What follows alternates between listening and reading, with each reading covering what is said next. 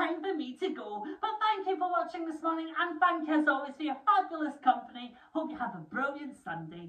Join Brie, my good friend, tomorrow morning at 6 o'clock. She would love to see you. Make sure you join her if you can. And I'll see you again very soon. Enjoy the rest of your weekend.